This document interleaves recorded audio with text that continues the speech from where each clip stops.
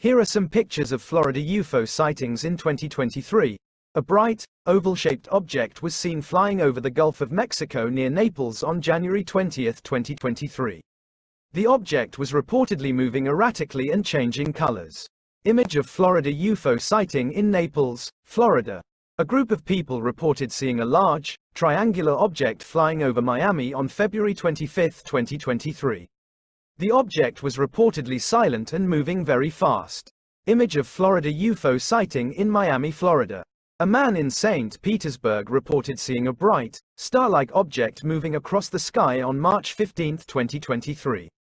The object reportedly disappeared into the clouds. Image of Florida UFO sighting in St. Petersburg, Florida. A family in Orlando reported seeing a group of small, glowing objects flying in formation over their backyard on April 20, 2023. The objects reportedly disappeared into the woods. Image of Florida UFO sighting in Orlando, Florida. A woman in Fort Lauderdale reported seeing a large, disc-shaped object hovering over the water on May 25, 2023. The object reportedly made no noise and then disappeared underwater. Image of Florida UFO sighting in Fort Lauderdale, Florida. These are just a few of the many UFO sightings that have been reported in Florida in 2023.